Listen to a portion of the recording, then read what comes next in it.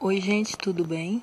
Olha, essa daqui é a minha mini rosa, que faz bastante tempo que eu não mostro ela para vocês, porque ela tava sem flores, mas agora ela resolveu florir, tem algumas flores aqui, e inclusive botões, olha, esse daqui é um botão ainda, que está abrindo, e por isso estou mostrando ela para vocês. Aqui pertinho dela, olha, tem aqui ó, um pé de arruda, que eu adoro, porque eu sempre tentei cultivar arruda, e nem sempre dá certo.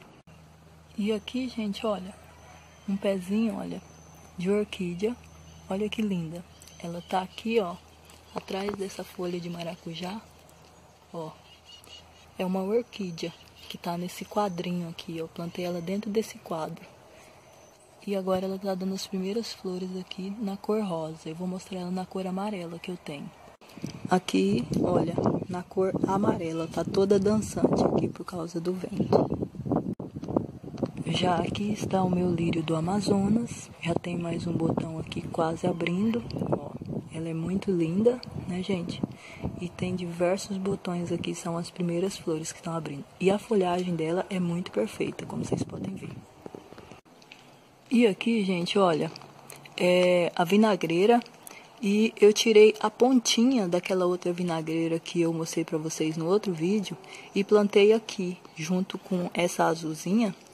E acabou que é, eu achei que ela não fosse brotar, porque eu só enviei ela na terra aqui e ela brotou e já cresceu o dobro do tamanho de quando eu plantei ela. E tem poucos dias.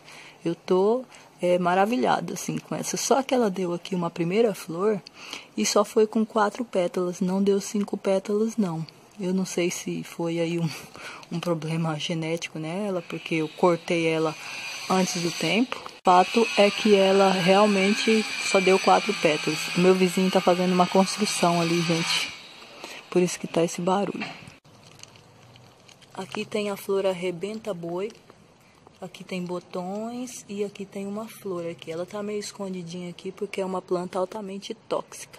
E a minha rosa do deserto vermelha, dobrada, né? Tem aí duas camadas de pétalas e é linda, como vocês podem ver. Olha, minha mãe que fez essa muda pra mim e ela é muito linda e tem botões ali para abrir. Foi um galinho que ela cortou aí. E tá dando aqui as primeiras flores. E aqui vai dar flores também, olha. É o meu crisântemo rosa, um rosa meio roxo aqui, que tá com botões, olha. Aqui também tem mais botões e aqui tem mais. Vai ser linda a florada dele. Eu mostro para vocês quando as flores se abrirem. E para finalizar, aqui, olha, tem aqui, ó, essa bromélia que uma amiga minha comprou para mim porque estava um preço bem em conta. E junto com o vaso da bromélia, acabou vindo uma mudinha de Maria Sem Vergonha, mas daquelas empatens, gente, não dessa vinca. E agora ela abriu as primeiras flores aqui, olha.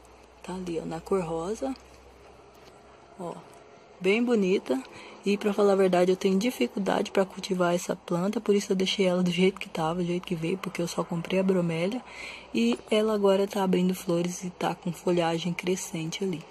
Ok, gente? Então, eu fico por aqui. Espero que vocês tenham gostado do vídeo.